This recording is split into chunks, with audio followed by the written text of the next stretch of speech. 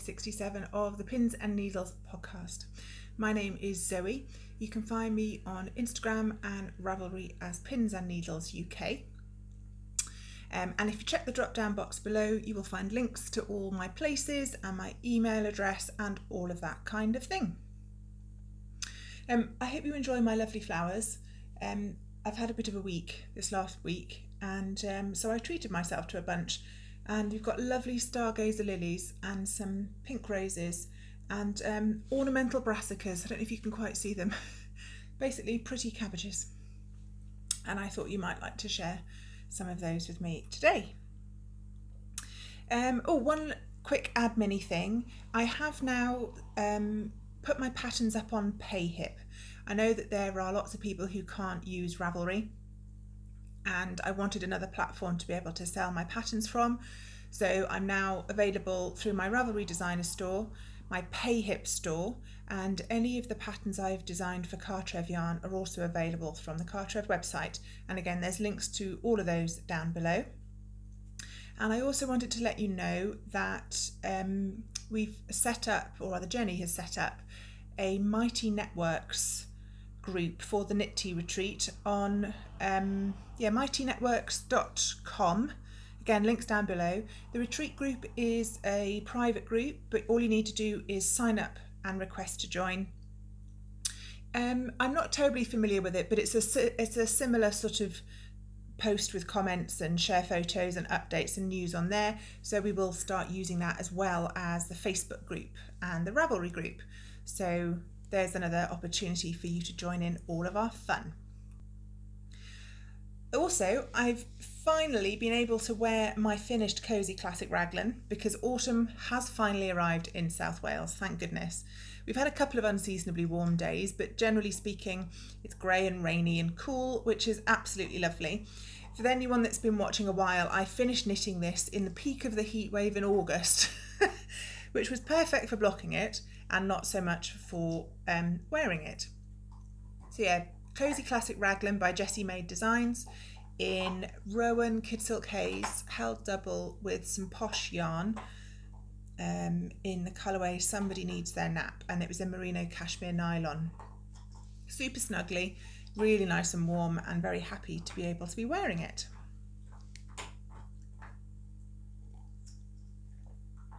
Okay, let's get on with some finished objects, which I actually have quite a few of. Well, two, three, two or three. the first of which is in this beautiful project bag. It's like oil slick with gold swirls on it. And this was um, in my uh, Ravelry group Christmas Advent calendar swap and um, it's got a beautiful spotty purple lining. And I absolutely love the bag. So I've been knitting hats recently and this was my hat knitting bag. If there's any slightly unfortunate munchy noises that's because Jim the dog is down there enjoying his bone. I cooked a nice joint of roast beef on the weekend and um, it was rib so he's got the ribs. Okie dokie. First up I need to scroll down on my laptop because otherwise I can't remember the names of anything. Hmm. Um, I started a bit of Christmas knitting because otherwise it all comes on you in a bit of a rush, doesn't it? And there's a bit of a panic. And I have knit the March hat by Megan Babin in some of the worsted yarn that I received as part of my Knit Crate Ambassador scheme. So the yarn is Knitology Worsted Merino. It's the one that was in conjunction with Brooklyn Boy Knits. And it's 100% superwash merino worsted weight in the colourway Empire. Um, so this is for my youngest boy, Max. He's currently 13. And it's just a super squishy beanie hat. Um, with a nice knit purl texture pattern it's a free pattern and I quite like how the yarn has sort of flashed in four segments around it. Um, it's a nice one by one rib. Um, he likes a little bit of slouch. Um, I haven't blocked it um, but I'll see. I can always block it a bit harder if he needs me to. Um, and I had that much of the yarn left. So I think I, I knit this in about a week flat and it's really nice and squishy and warm. So I'm going to tuck that away for Christmas. So it's nice to have something ready to go that you don't need to worry about.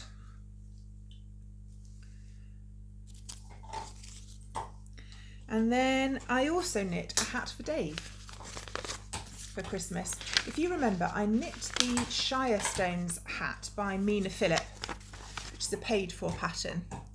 Um, I knit a hat for me out of some um, yarn that was given to me by Kathy, who is Shake Your Booties. And it was just a really nice, close fitting beanie with a doubled brim. And I need um, several hats for winter because like, they get so wet when I'm out walking the dog. It's always nice to have a couple so you can have one to dry for 24 hours before you need to head back out. Another simple knit purl texture and I knitted this hat in some reclaimed grey alpaca DK yarn. Um, ages ago, a friend of mine knitted a jumper out of it and didn't think the jumper suited her, so she passed it on to me. And it didn't suit me either, but the yarn was lovely, so I unravelled it.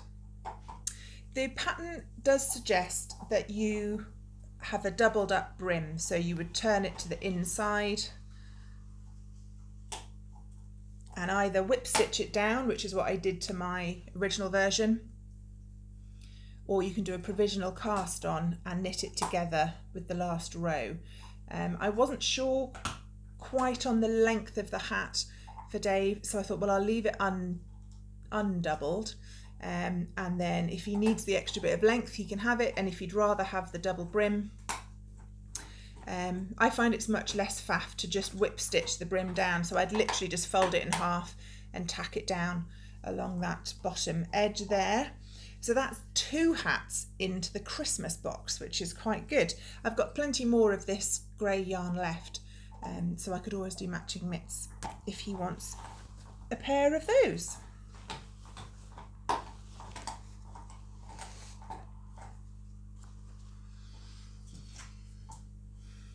On to my knitting works in progress. Um, I have, well, I have got another finished object, but I can't show you. You'll have to wait to hear about that. Um, I was putting the finishing touches to the Knit Tea Retreat um, free pattern. Jennie and I always include a pattern in the um, like the booklet for the attendees and um, it was my turn to design something so I was finishing that off um, so the attendees will get it for free in their booklet. I will also release it to everybody as a paid for pattern um, through Ravelry and Payhip, but obviously I can't show you yet because I don't want to spoil any surprises. Um, I've got a test knit running for that at the moment and because I am a bear of very little brain at the moment, um, I'm just busy working away on my vanilla socks. And I have a finished sock this is sort of a little bit um, acquisitions as well. I treated myself, let me get all my gubbins out, to a ball of this year's West Yorkshire Spinners Christmas yarn. And this is the colourway Silent Night. And it is a beautiful tonal yarn with actually quite a lot of sparkle in it. It's their signature four ply yeah, in the colorway Silent Night. And it's 75% wool, 23% nylon, 2% polyester, and 35% of the 75% that is wool is, is BFL. Uh, yes, yeah, so I finished the first sock, um, and same as the last sock that I showed you last week. Jim, Jim, Jim, oi, enough with the munching. You're very loud. Uh, yes, same as the last finished pair of socks I showed you last time. This is my as requested vanilla sock pattern. 2 by 2 rib, heel flap and gusset. Um, and again, I did a rounded toe. So you get sort of not quite micro stripes, but just a lovely variegated yarn. Um, I don't know if I picked it up to show you. It, the the yarn does come with a free pattern, a lace sock pattern. Is it Comet Sock or something? I can't remember, but it's designed by Winwick Mum. And it came in a nice, beautifully printed sort of leaflet with the yarn. Um, but there's no point knitting a lace pattern in this yarn. It's completely obscured. I'd seen a few people having a go at it on Instagram and you can't see the lace whatsoever. So I, I didn't even bother and I just knit a very nice plain vanilla sock. And I have been zooming along on sock number two. And that's how far I've got. I just finished the um, gusset decreases this morning it's Monday, the 12th of October, and I really ought to be at work. Um, but I had my flu jab last week, and um, I really don't feel terribly great. I didn't over the weekend, and I felt disgusting this morning, so Dave was very kind and sent me back to bed. so he's probably having quite a busy day at work without me on the desk.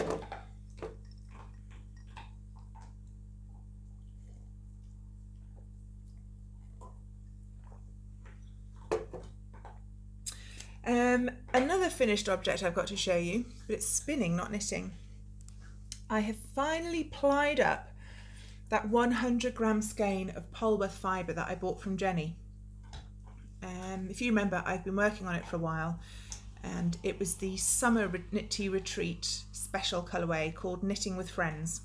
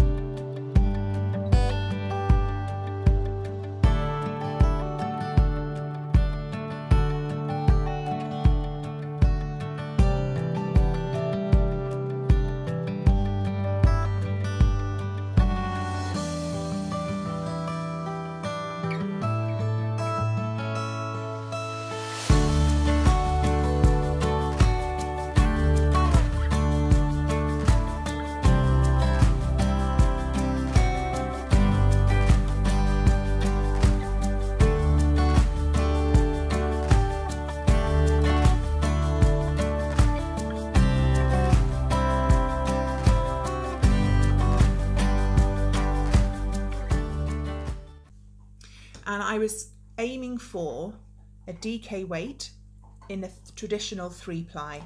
Left to my own devices without concentrating, I will spin fine enough for a chain ply fingering weight yarn. So I made sure to do a bit of sampling and keep checking my singles with my spinner's control card. Um, and I couldn't fit all of it onto one bobbin at the end. Um, but I've ended up with 221.8 meters um, in 97 grams. There's one, one of the singles is left on the bobbins. I meant to show it to you, but I forgot. Um, So yeah, 220 grams basically out of 100, 220 meters out of 100 grams is pretty much DK weight. Um, I've caked one up already because Jocelyn asked me very nicely if she could have some fingerless mitts with a flap um, knitted out of this and that's what it looks like in the skein and I'm really pleased with it. I don't know if you can see in here there's a ring of lilac and I spun two of the singles top to bottom and the third single bottom to top in an attempt to try and avoid the same colour bits of yarn coming together. Excuse me. And I was almost completely successful apart from probably 10 metres or so of three lilacs all overlapping and producing a knot um, multicoloured barber pole yarn. But all the rest has come up beautifully. I particularly like the dark pink and the light pink. It's really beautiful. And if I undo this little skein,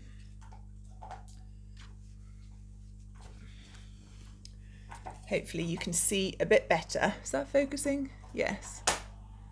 Or you can just see a bit of where all the purple came together here. But overall, I'm absolutely thrilled with it. When I'd first plied it up and skeined it, I didn't think I'd managed to hit DK weight. I thought I'd ended up with a sport weight, um, but it really floofed up. When I washed it um, and then dried it, it poofed up loads. I have spun Polwarth before, um, but only once, so I didn't particularly remember how it had behaved. But there are bits that are a little thinner. There are probably some sport weight bits in here for sure. But overall, I'm really pleased with it. So this is going to be next on my needles. Um, there's a pattern, uh, Chilly Podsters by Glenna C, I think it might be, because she wants fingerless mitts but with individual finger nubbins and a flap over the top. Um, and it's a stocking stitch pattern and there's a there's the Podsters mitts which is for four ply and then there's the Chilly Podsters which is DK weight which I have knitted for Dave previously. They're just up there in the hall cubbies. Um, so yeah that's the plan for that. Um, and once I've finished working out an error on my test knit I should have some brain space for mitts for Jocelyn that will be next on my list.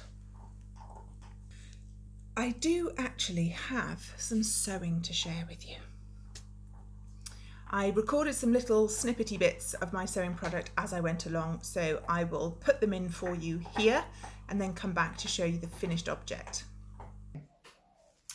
I'm making Dave a dressing gown. Um, it's Tuesday, no, it's Wednesday the 7th of October and Dave's 50th birthday was yesterday. Um, he's been jealous of my purple sheepy dressing gown. If you watch the podcast, you'll have seen it many times. Uh, and that was something that I sewed up myself a good few years ago. Um, and yeah, Dave has always been jealous. So I thought that for his 50th, I'd make him his own. So that's what I'm in the process of doing today. The pattern I'm using is a simplicity pattern, easy to sew, and it's pattern 5931. There it is. And it includes um, children's and teens as well. So it's, it's the whole family. Um, it's a very simple shape. So you can see it's got a, a grown on shawl collar. The back is in one piece.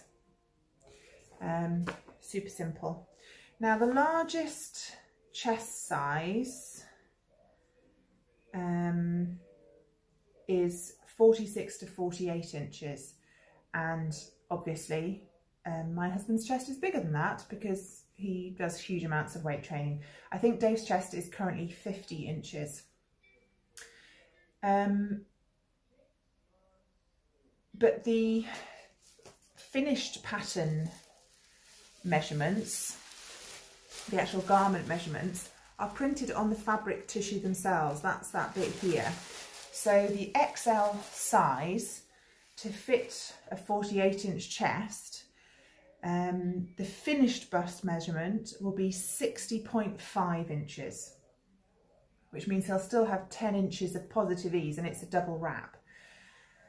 So I was dithering about whether to trace the pattern off and make it even bigger because it's such a simple shape it wouldn't be hard to do but I think what I've gone for in the end is um, I'll twizzle you around now I will just by eye cut half an inch bigger pattern pieces all the way around which will give me an extra two inches um, of finished chest circumference. Um, in terms of other alterations, all I've done is I've cut and spread the pattern and put an extra inch in. Um, this, this pattern piece is the front and under collar. So if you see at the top, this bit it, forms part of the collar. So I, it didn't have any lengthen or shorten lines on the pattern. So I chose to cut at this point, which is when it straightens off for the front edge, I suppose, of the robe. So you've got the curve here for the shawl collar, and then once it straightens out, I've just cut and spread. Um, and I want to add some extra length on it as well. But again, um, because it's the, the bottom edge is straight, obviously, all I'm going to do is when I get down to that end, just use pins to mark off an extra inch for the hem and cut straight across that. I'm just at the point of laying all the fabric out on the table, so I'll swivel you round and show you now. Here it is all laid out and this fabric is right sides together, but as you can see, it's skull and crossbones fabric. It's clearer print on the other side. Um, I haven't traced this off. I do usually trace off patterns, but because I'm running a bit late anyway, because my fabric took a little while longer to arrive than I planned, um, I'm just going to go for it. And because I'm also cutting him the largest size, as you can see, all the other pattern lines fall within it. So if I cut half an inch outside the pattern lines, I'm still going to have my original pattern intact as well which is probably just as well because Jocelyn has asked for a frog dressing gown for Christmas because she saw this. Here you can see where I've added that extra inch as well because obviously if you add an inch on one pattern piece you've got to make sure you add it in all the way around. I've pinned this one down already. This has to go right pattern right side down and I've used my quilting pins. Obviously the pattern um, calls for you to cut some pieces on the fold and that makes it extra thick because it's polar fleece. So I've used my quilting pins because they are that much longer. Um, and yeah, and I've just got the rest of the fabric draped over the dining room chair at the end. So I'm going to pin down that front facing piece and start cutting out, I think.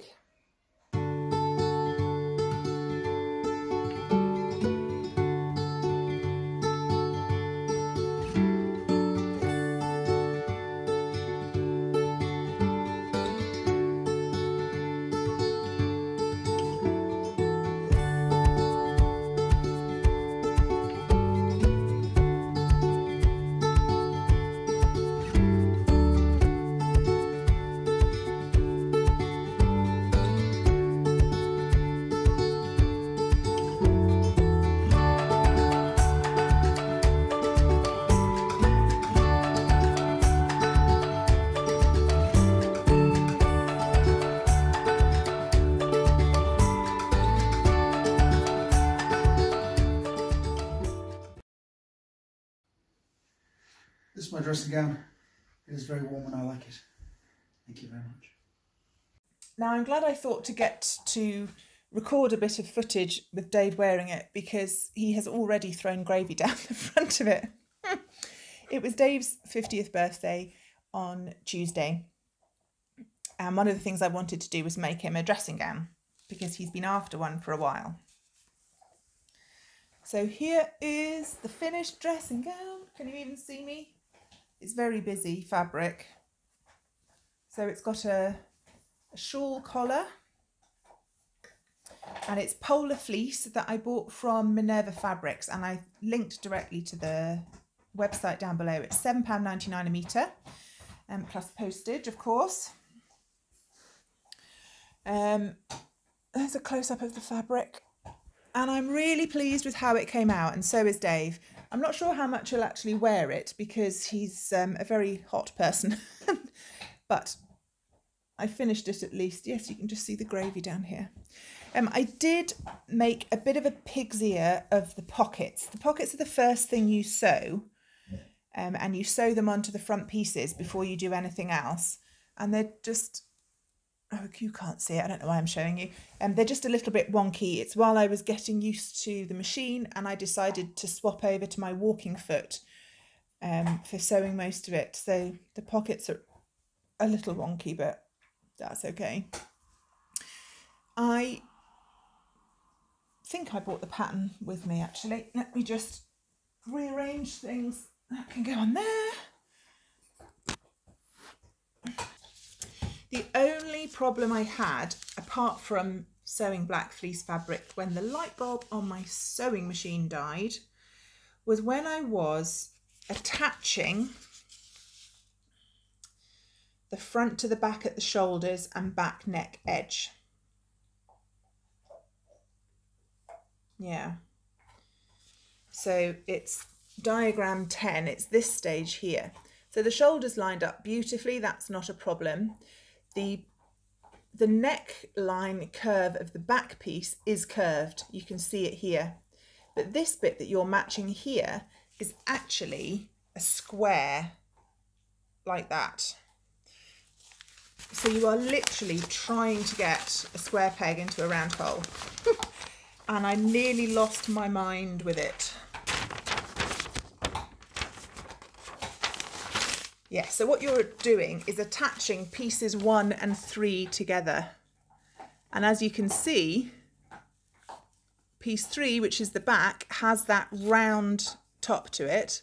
And when you've sewn these two pieces together, this makes a square. So there was much cursing and I didn't do the best job on it, but it is finished. Um, and it fits and he likes it, as you can see from the tremendous modelling that he did for me. So sometimes good enough is good enough. I did also have a little bit of a tuck in one of the back pieces again, just because I was trying to bodge it all to fit. But it's such a lovely soft material. It's not, you can't sort of feel it when it's on. So I decided that was sufficient. Um, ooh, acquisitions. Um, couple of acquisitions for you.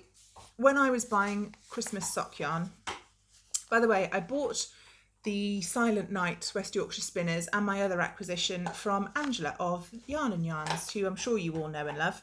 Um, but her, she used to run my local yarn store, but now she's gone online.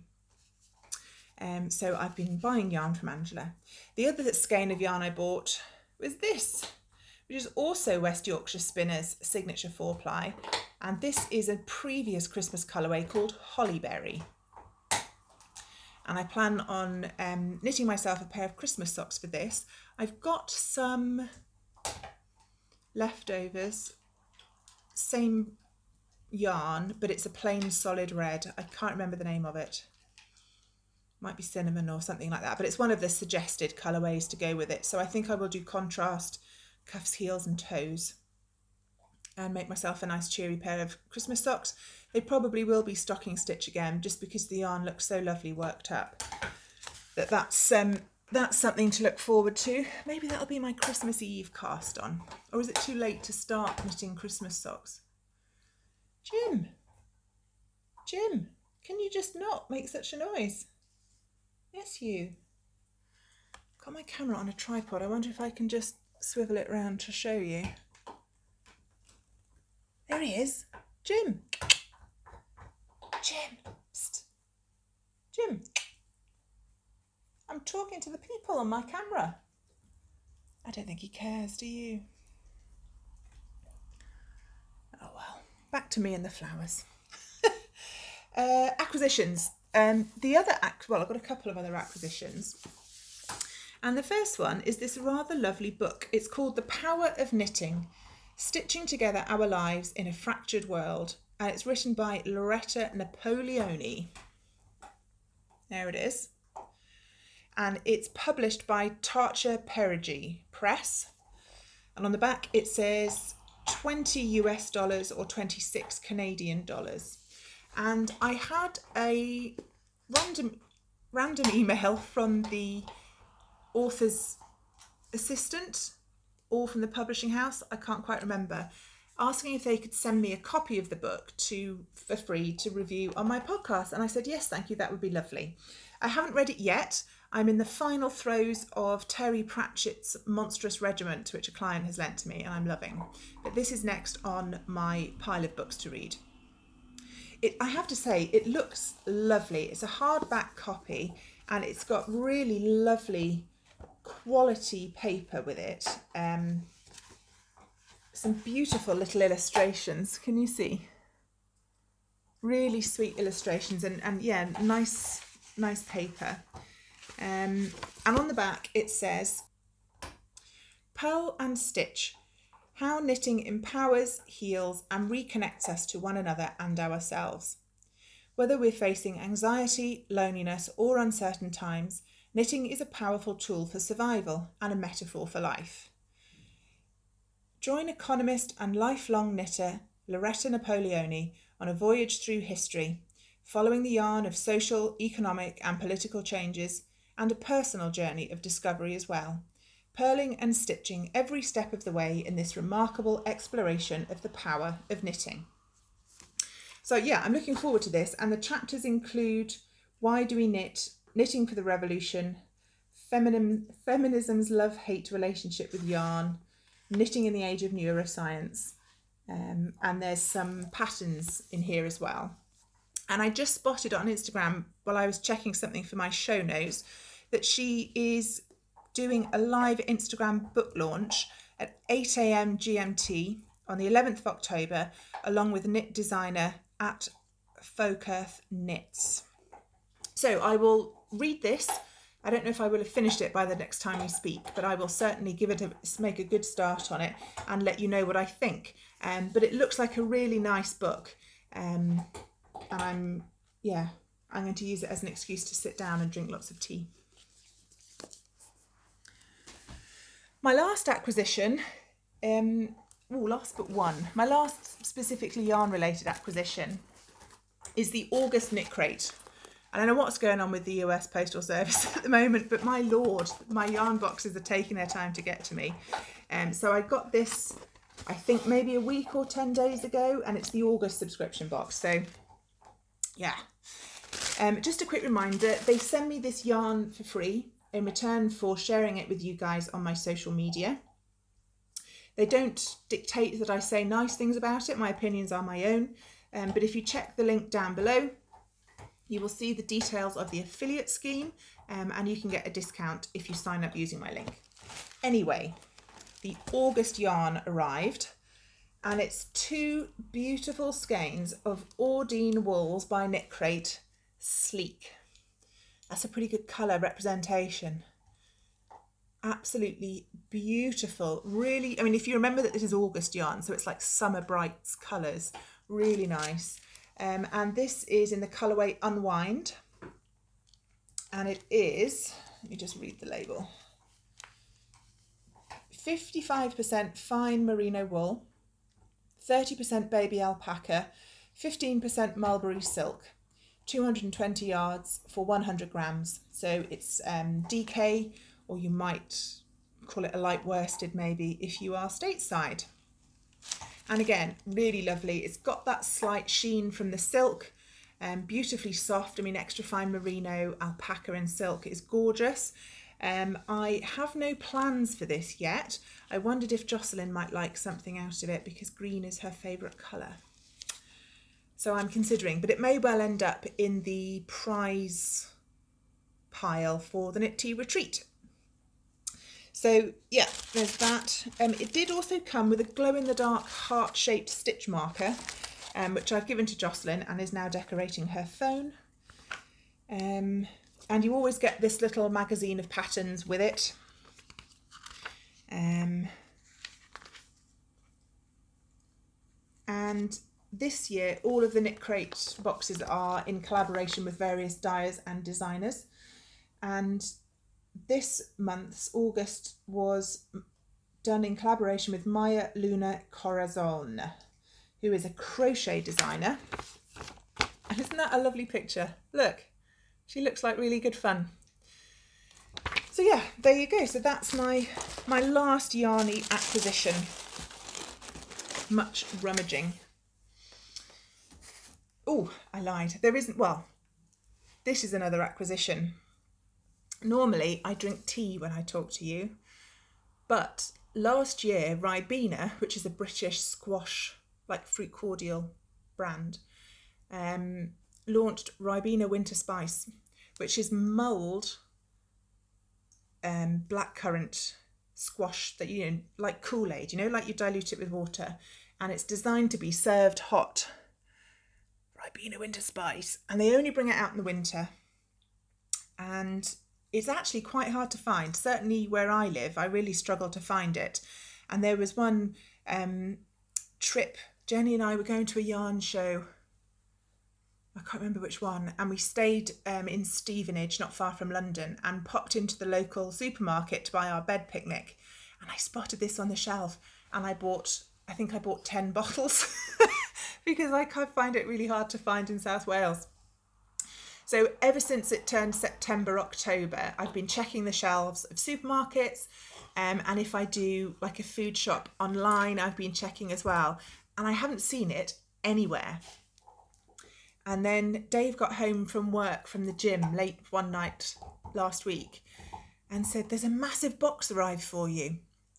Now, between the Knit Tea Retreat um, and Cartref yarn and normal Amazon orders. I get all sorts of unexpected stuff delivered at the gym, and it might be cleaning cloths, or it might be stuff for the retreat gift bags, or it might be packaging, or who knows. And uh, he said, It's got Ribena on the box. And I thought, oh my God, I haven't ordered anything. What's, who sent me something in a box?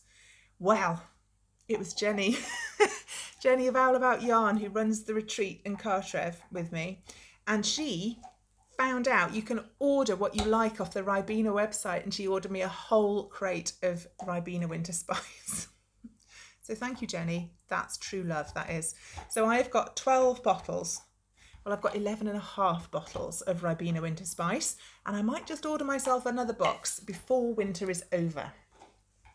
I have included the link down below if anybody else is having Ribena Winter Spice urges. Finally, onto a last little bit of catch up and chat. Um, I mentioned last week that Cartref Yarn um, was featured in the Knitter magazine, episode 155, and that they were sending me a copy, but it hadn't arrived. Well, now it has, and I think I've spilled a small amount of tea on the front cover. so, this is the current edition of the Knitter. Um, I understand from the publisher that it does get published elsewhere in the world, so I know that there's a US uh, branch of the knitter. I think the content can vary, but we did give our permission for them to use our interview and our images overseas. So if you get the knitter wherever you are, maybe have a look. So um, if you turn to the very back, so that's the front cover, there's a whole page on an interview with me and Jennie. Look, there's me and Jennie.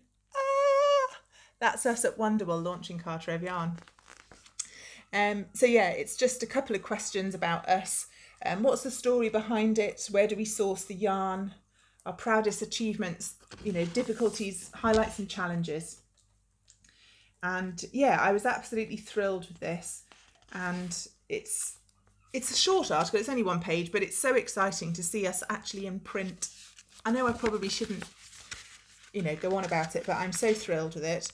And as well as that little page on the back, we're featured somewhere else, like a yarn review. I probably should have put a sticky label in this, shouldn't I?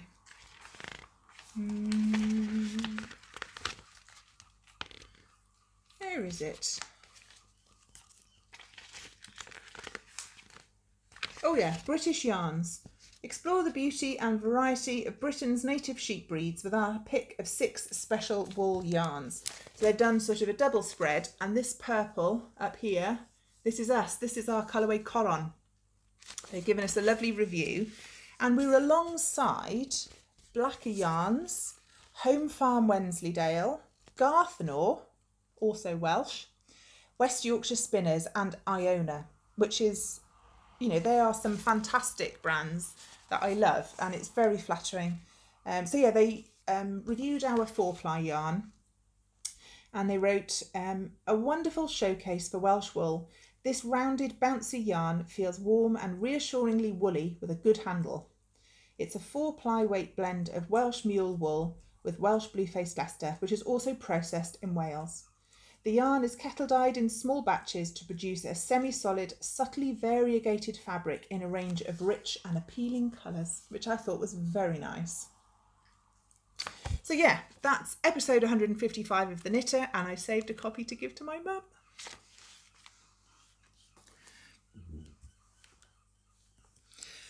On to a last little bit of chat. Um, I am a week later podcasting than I had planned, which I'm assuming you're used to by now. I do keep trying, but failing. The main thing I've been up to is Dave's 50th birthday. He was 50 on the 6th of October, which was a random Tuesday. Um, and a few people, a few regulars at the gym and the staff members had clubbed together to get him um, a birthday cake and a big card and a bottle of um, dark rum. So I took the kids in. I was at work on Monday, the kids were in school, and I took them back into Cardiff to go and celebrate uh, Monday night at the gym. And then Tuesday was his actual birthday, and he had the day off. Uh, I was working till five, scooted back, and then we went out to um, dinner at a steakhouse, which was lovely. I think that Tuesday is the first time Dave had the whole house to himself with no children in it since March. It was just him and Jim the dog, and he had a really lovely time. And then, because having a birthday in the middle of the week is a bit rubbish, we picked Saturday this weekend just gone as his sort of official family birthday. And I sewed up his dressing gown and I cooked an enormous roast beef and Yorkshire pudding dinner and apple pie and we celebrated as a family, which was good. We didn't get to have um, a party or to see his family because we are still in lockdown, which is a shame. Um, but the the work related people he wanted to see most we did get to see because either they work for us so we're allowed to see them or they're members of the gym so they're allowed to come in and train um, so we did a sort of socially distant with masks birthday. And of course, nobody wants to eat cake once you've blown on it these days. So we wafted the candle out like that. And then everyone had a bit. so it wasn't quite the same.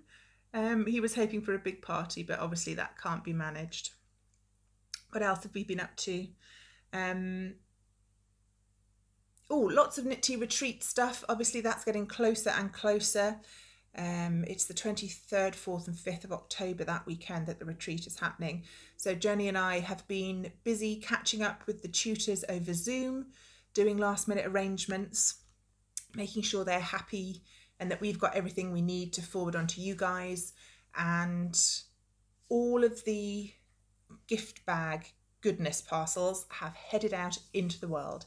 We sent the international parcels last week, and I know that they've started to arrive in Europe.